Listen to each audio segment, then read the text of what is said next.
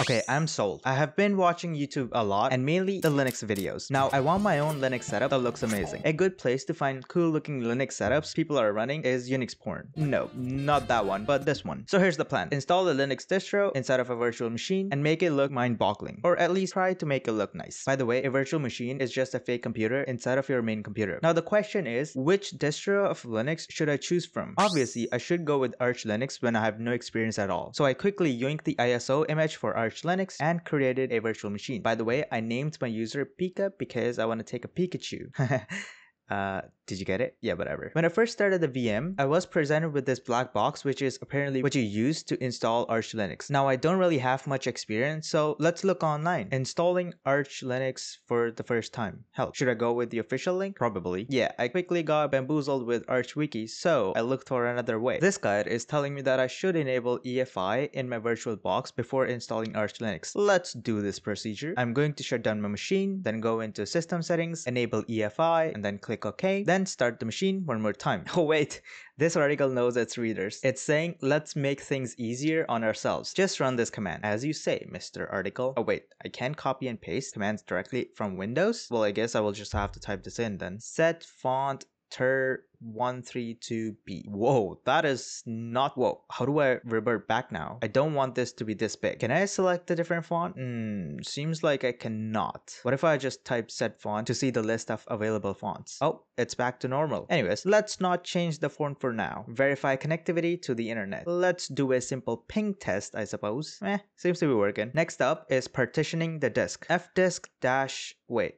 is that a is that a 1 or an L? It looks like a 1, maybe not. What if I do 1? fdisk invalid options dash dash 1. Oh, it's an L. Boom! Now what? For basic partitioning, we will create the following layout. Dash dev dash VDA1 EFI system partition slash dev slash VDA2 swap partition slash dev slash VDA3 Linux partition. Okay, don't know what any of that means, so I just keep putting in the commands, I suppose. Meh, guess I'll just keep copying this article until something breaks. Oh, I did not expect it to break in the very next command. cfdisk cannot open slash dev slash VDA. No such file or directory. Wait, what? Did I miss something? Oh, so I did fdisk to see my disks and this article has slash dev slash VDA and I have slash dev slash SDA. A rookie mistake on my part. So I should say cfdisk slash dev slash SDA. Boom. And now I select GTP. Then with free space highlighted, hit new from the bottom menu, you can navigate the menu options using the tab or arrow keys. Okay, I hit tab and then press enter, I guess. Wait, no, I selected quit instead. So what if I press shift tab? Does it go back? Yes, it does. Type 500M and press enter. Okay, with this partition selected, I pick type to be EFI system. Okay, that was easy. Create swap partition. Oh, that was just one of the three that I have to create. So basically repeat the whole thing until the type selection and then select Linux swap. Okay, that is it for the swap. Now is the time for root partition. The same thing, but select Linux file system instead this time. Configuring the root partition is done. You're all set. Whoa, I expected it to be a lot harder because of this video. Write changes to the disk. So I just select write and click enter, I guess. Are you sure you want to write the partition table to the disk? Oh, I can never be more sure of it. We're done here. Okay, create file system. Wait, what? Didn't we just do this one?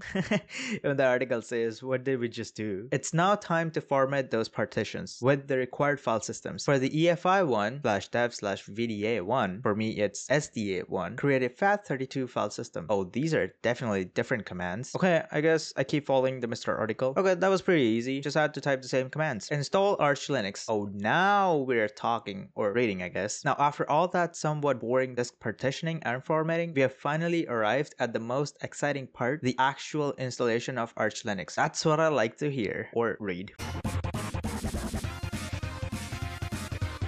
Okay, I just did whatever Mr. Article told me to do, and now I have to enter this command to install Arch System. A bunch of stuff just happened on my screen. Honestly, doing all of this makes me feel like I'm doing something super complex like in those movies, but in reality, I'm just typing in whatever commands this article is telling me to. Next up is configure the installed Arch System, gen fstab.